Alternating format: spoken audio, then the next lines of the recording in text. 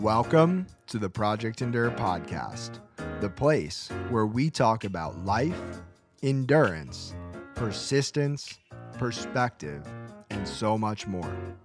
I'm Joe Rinaldi, and I'll be your host. Let's jump in. Before we get started, let me ask you a question.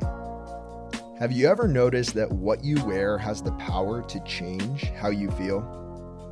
Project Endure apparel is designed to remind you that easy won't make you stronger, and that growth is an uncomfortable choice that we all have the privilege to make every day. Look good, feel good, and perform good. Head to the link in the show notes to shop Project Endure apparel and keep on doing hard things. Now, let's get to the episode.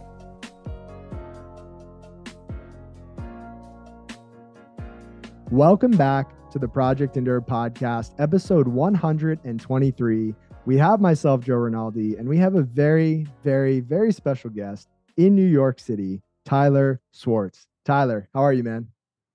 I'm pumped. Um, I've had a hard week and I'm ready to chat.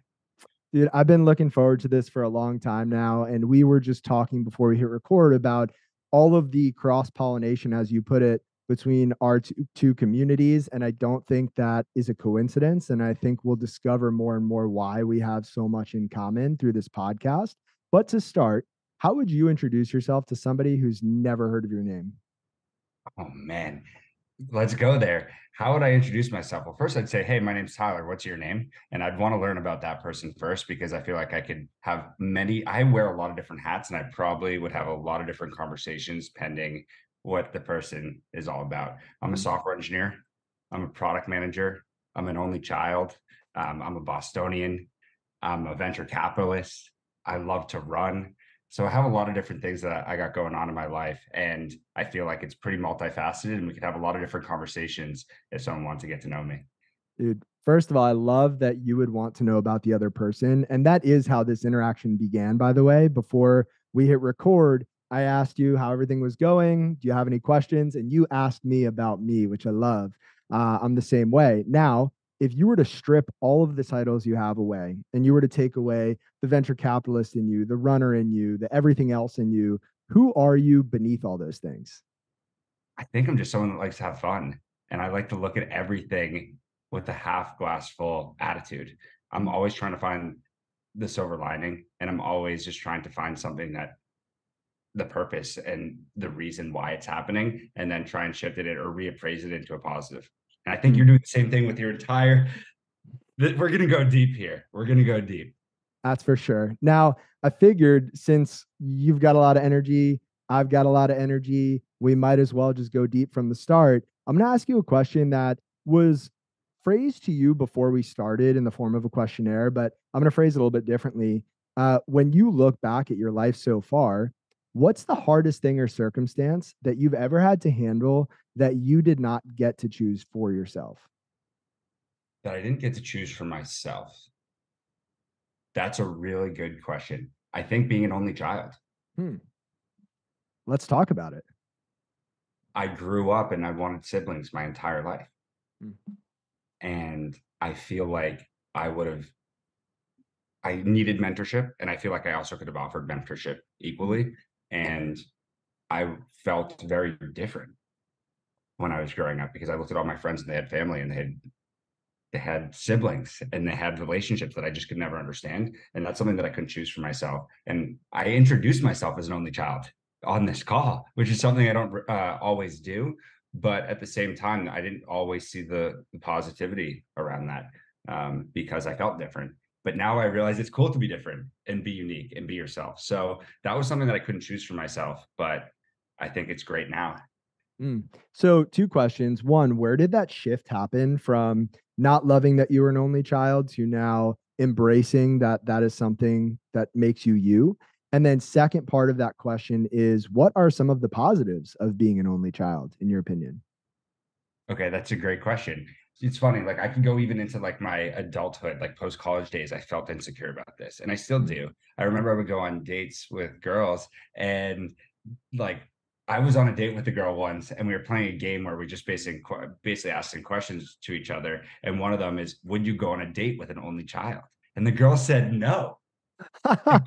looking at this girl on the first date, and I like that was in my 20s, my late like mid 20s. So like I've been insecure about it for a while. And then I think I just realized that like it's cool to be different. It's cool to be yourself. And I think like in some of the other questions that we'll dive into today, like we'll talk about being true to yourself and who you are and embracing that. And when you do embrace your true identity, good things happen. Yeah, I love that. So, all right, let's do this. I asked you before we started, uh, what was the hardest question that you've ever been asked? And you said, what scares you the most would be the hardest question that you would have ever been asked. I'm curious what your answer is. What scares you the most? Two people have asked me that in the past week. Oh. Um, so I've actually had a little time to think about it. I was in Austin last week and I saw a doctor. Um, he's the type of doctor that you go to on when you're on your like last ditch effort. His hmm. name's Dr. Noah Moose. He's incredible. He works with a lot of the U.S. Olympic team um, and a bunch of Olympic athletes for in the running space. And he does a lot of different forms of therapy. And one of these forms of therapy is he gets you to speak about your emotions and then uses um, that release as a way of finding out different things going on in your body. So he asked me what uh, one of the like things that scare me the most is. So I'm primed for this. Um, I think it's losing trust with mm. people. Right now, with endorphins, like my whole thing is I'm just trying to build trust with people at the end of the day. Um, and I think it would be a really weird world um, if I didn't have the trust of the people that I love so much and I'm mm. impacting so much. And I feel like you see this in a world of creators or business leaders or um, someone like yourself. Like you can go out into the world and say something, um, and it could drastically change the relationship you have with your community. And that scares me the most right now. Mm. So let's give the people a little bit of context. What is endorphins?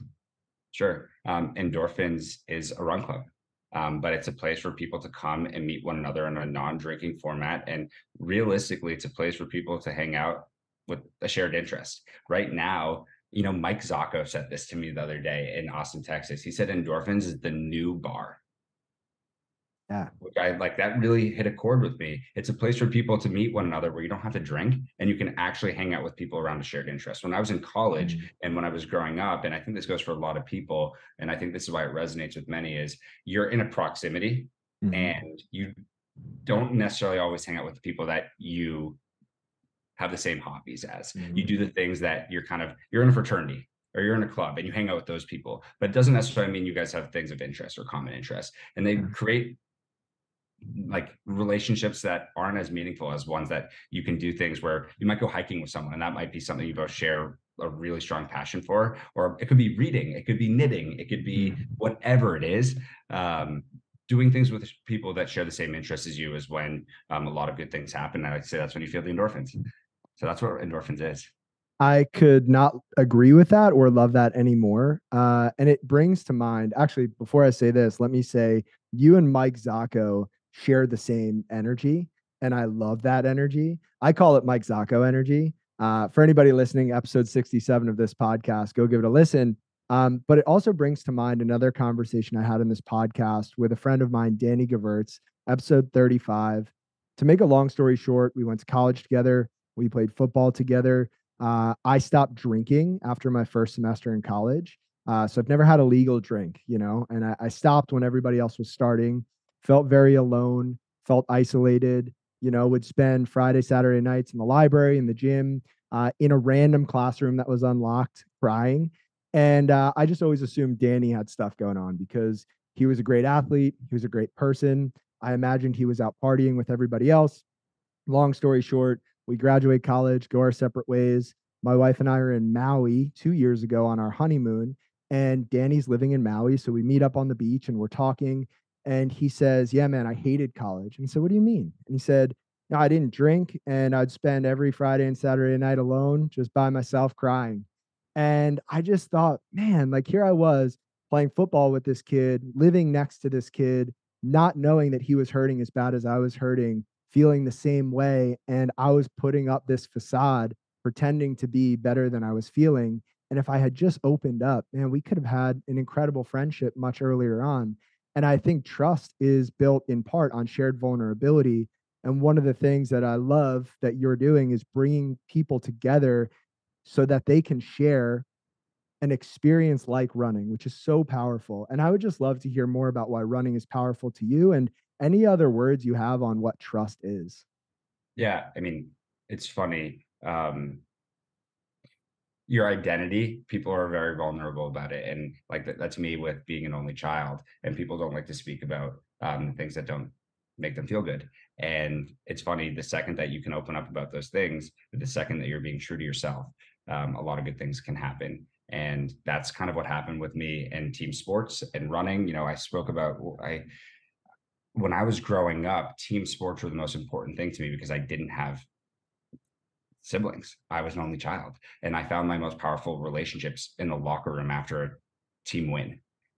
That wasn't drinking, that was like camaraderie, right? That was a little different. And I went to college and I lost that. I absolutely lost that. I had friends, and they're still some of my closest friends. We just don't have a lot to talk about these days, um, which is fine. If any of my college friends are listening to this, hit me up because I'd be surprised if they are. Um, and yeah, when I got into running, I was in New York City, fresh off of like drinking aggressively for four years. And I got accepted into a Nike marathon training program. And we put people together, they put people together that came from all different walks of life, all different perspectives, all different backgrounds, but we all shared miles together three times a week in person. And I became super tight with those people. And it brought me back to the days when I was taking the bus ride back from a football game and we were shooting the shit with everyone on the bus. Like that's what it felt like. And I was like, wow, this is really powerful. And then I ended up running marathons with these people. And one of them, his name is John Peasy. He's in his 50s. He's the athletic director at a high school. Like I'm in my young 20s. He's in his 50s. We have on paper almost nothing in common, but we had the shared interest that bonded us. And like I could call him up right now. And if I need something, I know I could count on him. And that's what running has kind of taught me. And I want to provide that for everyone in the world. So, why the name endorphins? What does that mean to you? Yeah. Um, endorphins is pretty symbolic for several reasons. Um, it's it's more than a feeling that you have after a run. I think it's a way of life, um, and I speak about this with people when I'm present with them all the time. And it goes back to even being true to yourself. We use these two emojis. They're on my hat right here. Um, the lightning bolt and the heart emoji. The lightning bolt represents your energy and the heart represents your heart. And I think a lot of people go through life and they're putting their energy into something that doesn't align with their heart. For me, I was a software engineer and I was in VC. And I thought that's what society was telling me should be what I should be doing. And I was putting so much energy into it, but my heart was way over here. And the second that I started investing my energy into where my heart was, which is running and building endorphins, I started to feel like I was actually connected to my true identity and what I should be doing and my purpose. And that's what endorphins feels like that moment on your long run where you just feel effortless and powerful and graceful and amazing. So that's what endorphins means to me.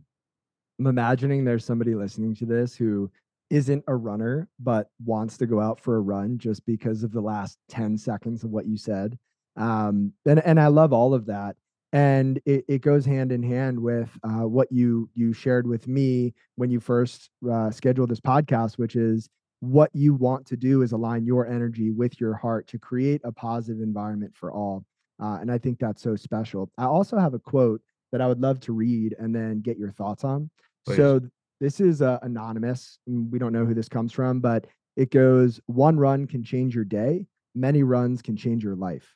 And I would love to hear your take on that as it pertains to your life and the lives you've seen change through running potentially.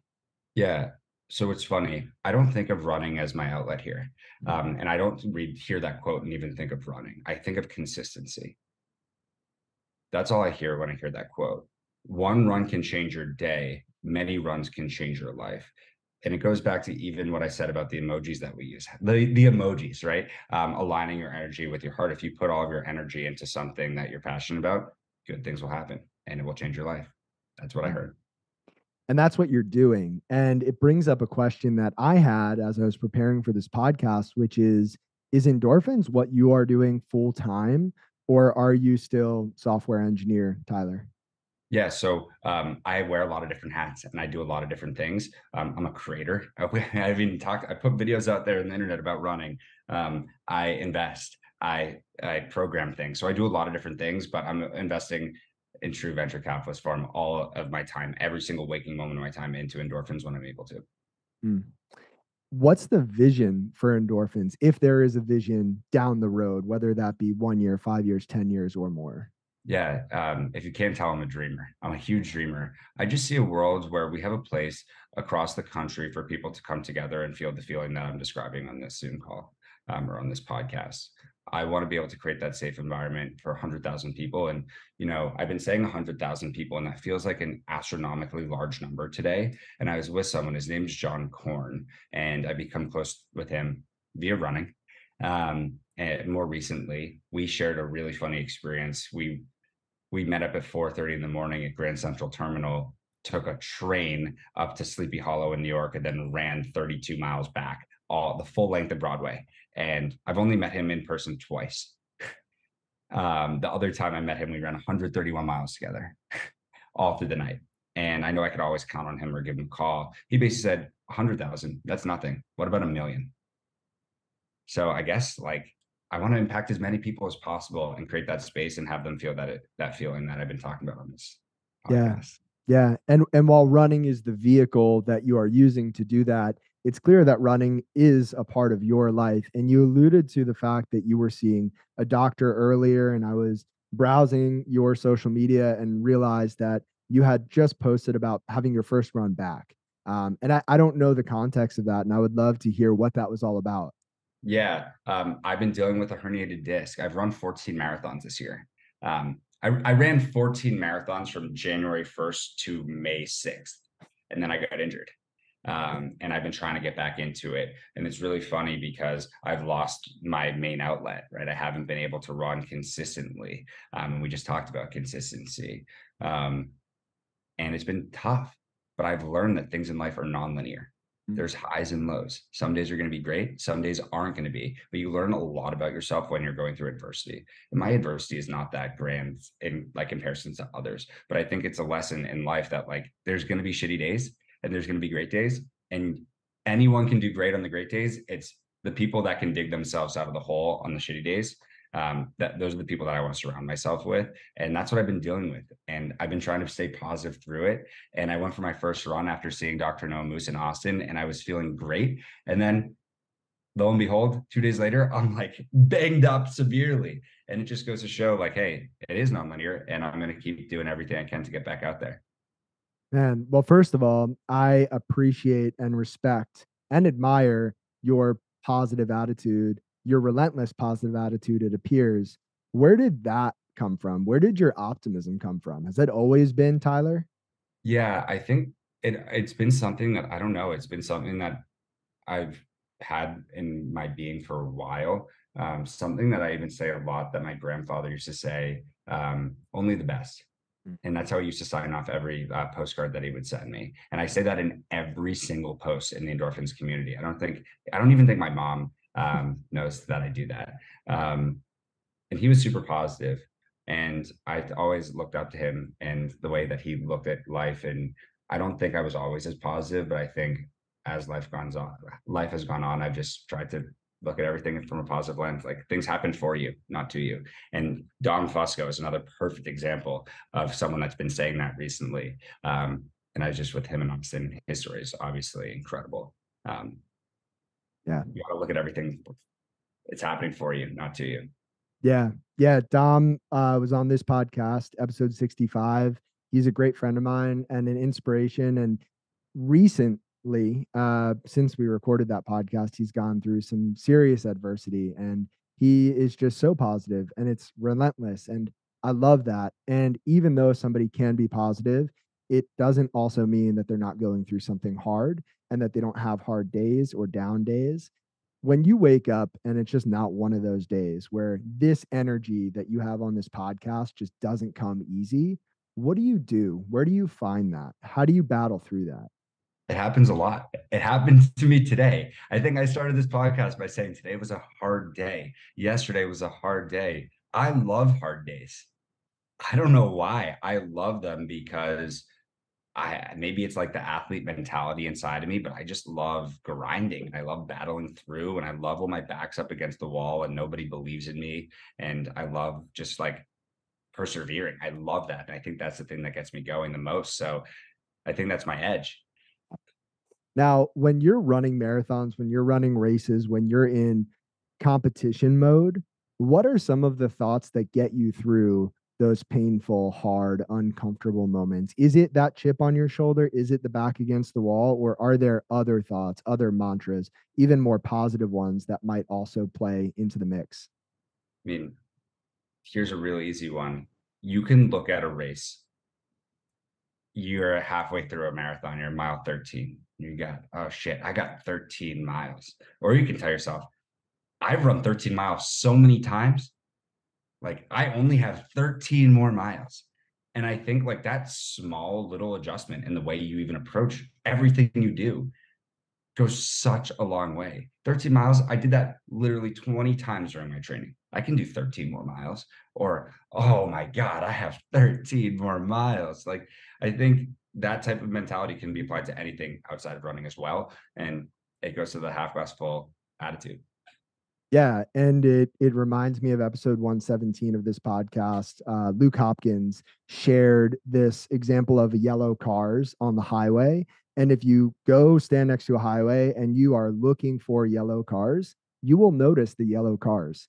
And if you go into a situation expecting the best, hoping for the best, looking for the best, you will find it. That silver lining is there if you are looking for it. And if the opposite is true, if you're expecting it to be bad, if you are looking for the bad, you will likely find the bad. And so I, I love that. I've never met Luke, but we've interacted online. I got to hit him up. Oh, Luke's awesome. And I mean, as of this recording, I believe Luke is 20 years old and he's got the mind of a 50 year old and uh, the body of a, you know, young Arnold Schwarzenegger. So it's, it's a, hit him up after this. you should.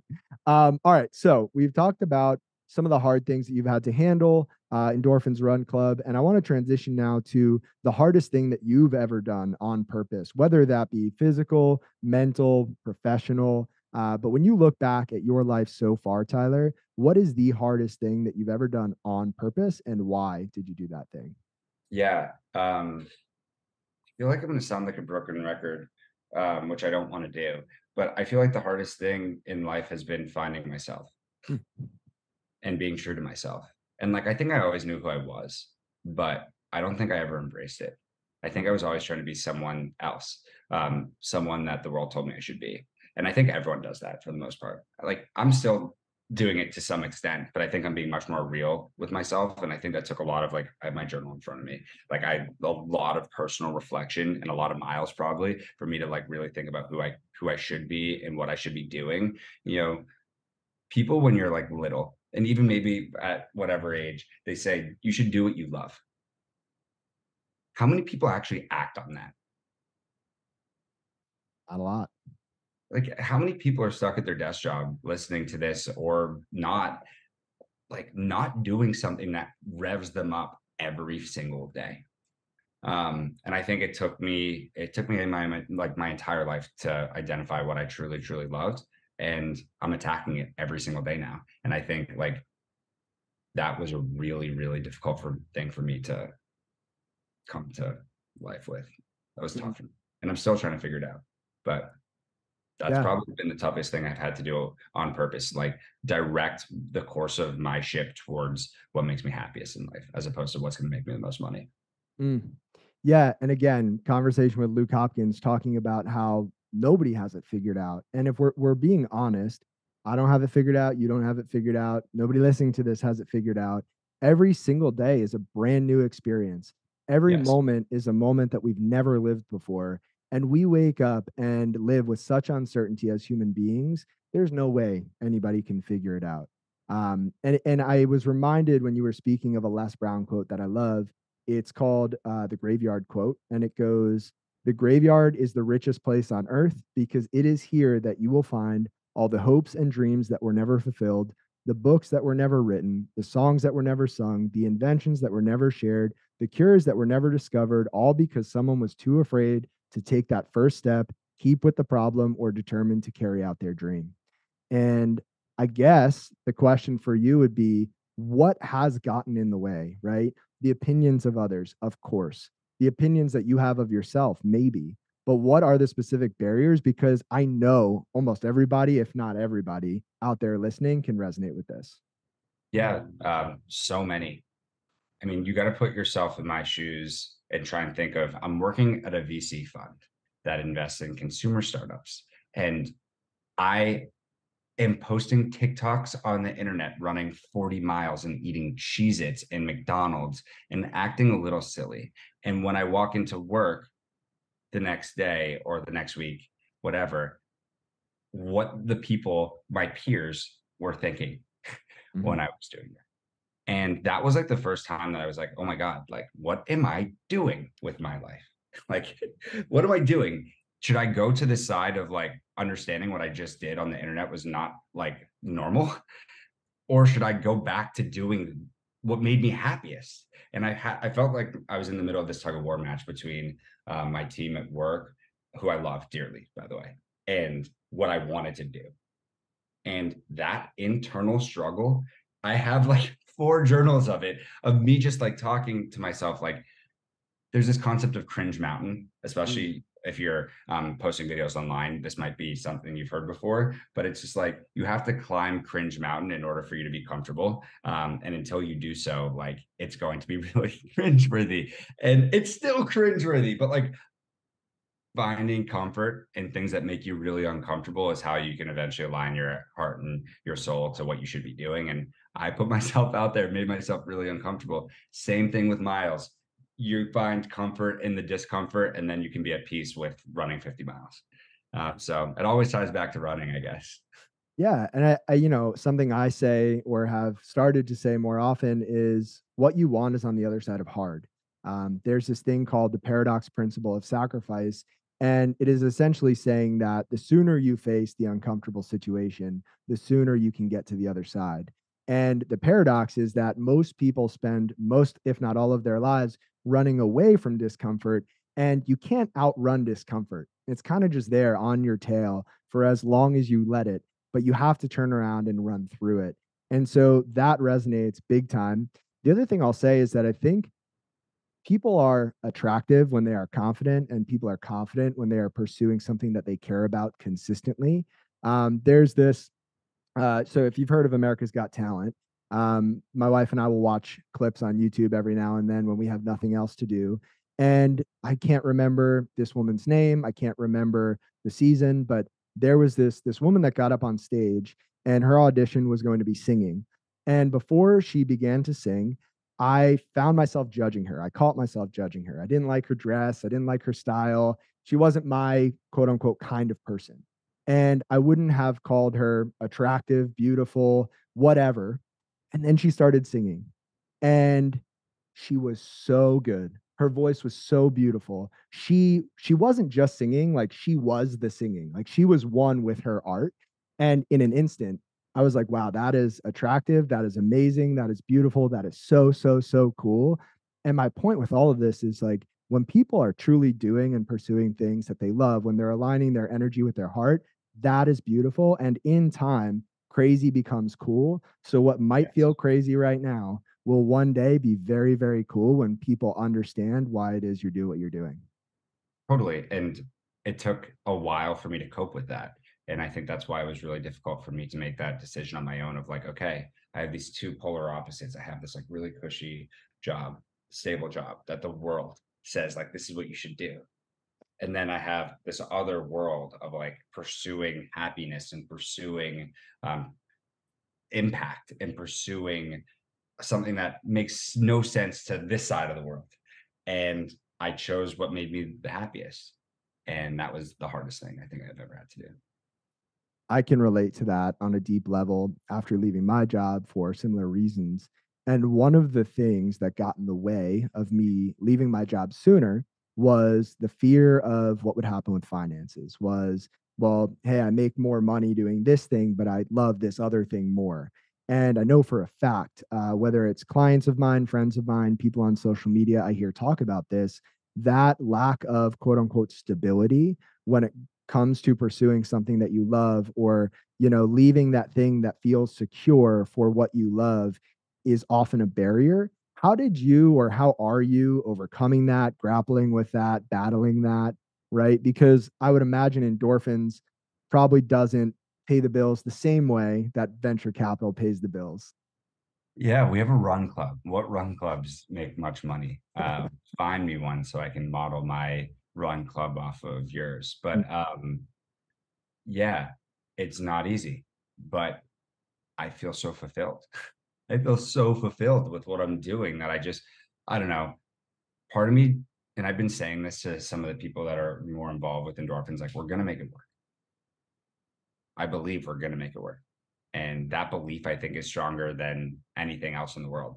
Like, people can sense it people can feel it people can feel the energy and i feel like when you put good energy you, when you put good energy into the world like that energy is reciprocated that energy is reciprocated tenfold and i've seen that in other endeavors whether it be financial or whether it just be relationships or whether that be with friendship or whatever um, so i'm just really confident that we're going to put good energy into the world which is what we're doing and mm-hmm. good things will happen and good things might not necessarily be financial but i hope hopefully we'll be able to pay the bills.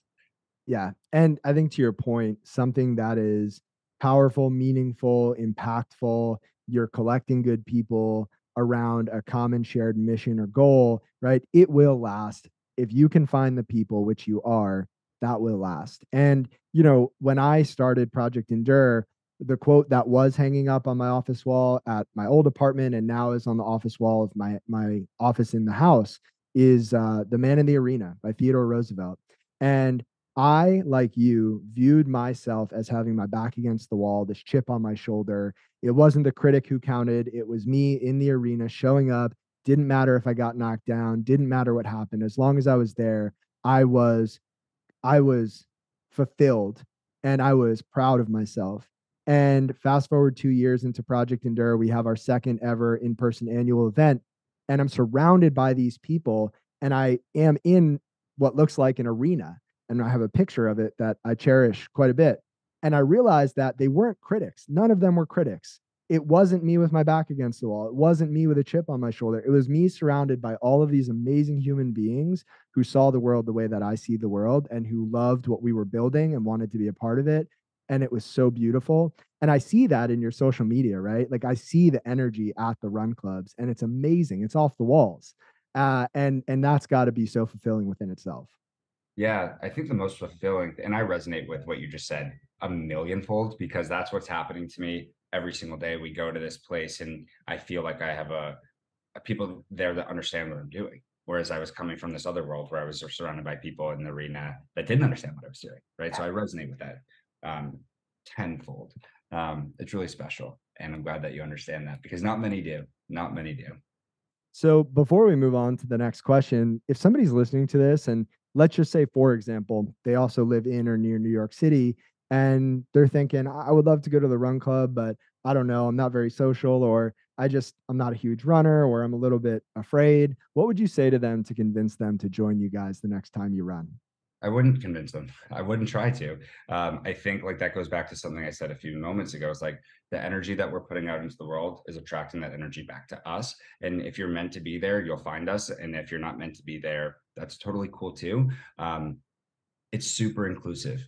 It's one of those things where I'm doing like a lot of research just on like community building and like hybrid work models and like PhD level studies on just like creating impact networks. And I'm really nerding out on it and I'm loving it. And we set the purpose virtually before the events of like, hey, this is a place for people to come together around a shared interest. Like it's cool to say what's up to other people. We say that virtually. We also say that at the beginning of every single one of our experiences. Hey, if you've been here before and you don't recognize someone, you know what to do. Say what's up. And because we set our purpose and intention really early, it does create this really awesome, um, super inclusive space. And whether you're alone or you have 10 friends or you're not experienced or you're super experienced, we have a lot of different walks of life that come and it's become a ritual, which is awesome. Yeah, that is awesome.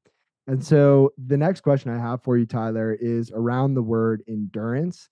And when you hear the word endurance, I would love to know what comes to your mind. Yeah, it's funny. The first thing that came to mind is um, a day that I ran around the perimeter of Manhattan. And this was one of the first times I really went beyond the full marathon distance. And I was with my accountability partner, my training partner, Alex, who's like one of my rocks. And, you know, we don't chat as much as I'd like right now um, because we're doing awesome things in life. But like, again, I know I have him and he has me whenever we need each other. It's one of those type of relationships. Um, and he's pushed me so hard. We're at mile like 27 and I put the camera on him and I go, How do you feel? And he goes, I'm in pain, but we're going to process this and we're going to proceed. Mm. And that's what endurance really feels like to me is like, let's process it. Let's embrace it. Let's internalize this. Let's feel it and let's keep going. That's what endurance is to me, at least. And that is, that is really good. I love the process aspect because most people talk about proceeding, about pushing forward, about keep going. But to truly feel what you're feeling in that moment, to experience what you're experiencing that moment, not to block it out or wish it wasn't happening, but to embrace it and then proceed is really powerful. Uh, I'm curious, what's the most pain you've ever been in while running? Is there a moment that comes to mind, a hardest run per se? Um, I have a few that come to mind. Um, I ran the Chicago Marathon. It was my second marathon ever. I was underprepared super underprepared. I was lax, like lackadaisical. I was complacent. I didn't lean into my training program. I did the bare minimum, and I knew going into it, I wasn't ready. Mm. And it happened to also be 80 degrees and 80% humidity, and I got wrecked, absolutely wrecked. And I really went into a deep, dark place during that day. Um, and you know, I referenced someone. His name's John Peasy, we trained together two years prior and we ended up running that race step for step with each other. And we battled together. And now he's one of my like homies 50 plus years old no nothing in common outside of running and we're homies. Um, that's one thing that i can point to. Also i ran the tokyo marathon this year and took five bathroom breaks. Um, it was a horrible horrible amazing race. So those are the two that come to mind oh man. Well, you know, to go back to the connection that can be formed through something like running, I think that shared struggle, shared pain, shared suffering is one of the most powerful ways that two human beings can bond. And that's amazing that you found that through running. The second thing is a quote from one of the co founders of the New York City Marathon, Fred Lebow, who said, In running, it doesn't matter whether you come in first, in the middle of the pack, or last you can say, I have finished. There's a lot of satisfaction in that. And Amen. I'm what I'm wondering for you, one, have, has there ever been a race where you haven't finished? And well, let me start there. Um, yes. Um, and those are the races that I don't even start.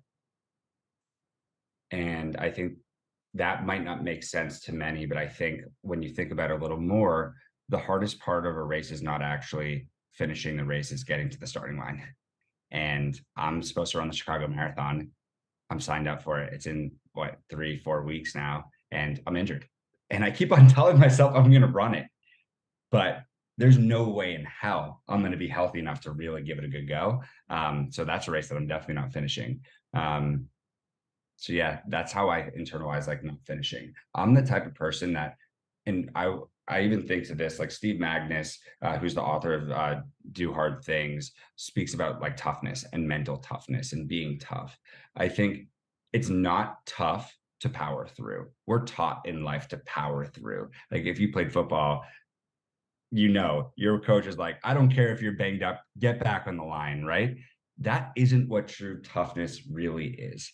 Toughness is being able to internalize and process what's going on and make the educated decision whether you should proceed or not. On race day, if you're if I'm there, that mentality goes out the window because I'm there to finish and I will do everything in my power to endure. But on a training day, I'm processing and proceeding. So I haven't for the races that I start, I will hardly ever not finish unless I'm really, really banged up. But the races that I don't finish are the ones I don't start. That was a long-winded answer. It was a great answer though. And I have that book, Do Hard Things, right next to me on this desk. Uh, it's also tattooed on my chest and also on the wall of my office. And it means a lot. And I, I think sometimes the hardest things or the toughest things, like you said, are not, it's not pushing through all of the time. Sometimes it's recognizing that the smartest thing for longevity, sustainability, or just the best option is not the one that continues forward. It might be pausing, it might be taking a step back, it might be going to the left, to the right, and that might not be popular. You might be afraid of what other people think. You might be afraid of what you think of yourself. But if you can process and recognize that what you're about to do is truly best for you in the long term, making that decision and sticking to it is toughness. That is hard. And I think one of the the hardest parts about doing those hard things is dropping the ego. And I would love to hear any take you have on the balance between confidence and ego because to start anything, let alone something as successful as endorphins has been and will continue to be, you need confidence. You need to believe that it's going to work, that it's going to happen.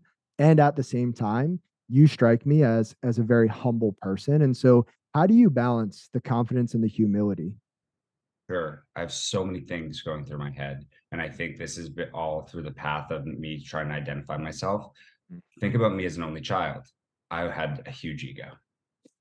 Think about me trying to start companies or like trying to do what society told me. I was confident in it, but I also had an ego associated mm. with it.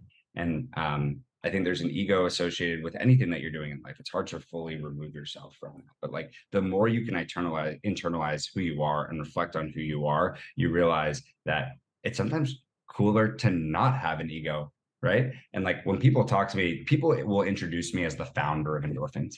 I don't even like that. Like I think that's too strong. Like I I like to be called the organizer like I've really tried to remove my ego from the madness because I think the second that there is an ego, that is not genuine anymore. Mm-hmm. And I don't think you're being true to yourself. So I think there's definitely a level of confidence associated that we're doing. Like I'm over here telling you we're gonna make it work and we're gonna have a huge run club and we're gonna impact so many lives. But at the same time, like the way that we're building endorphins, I'm trying to remove myself from it.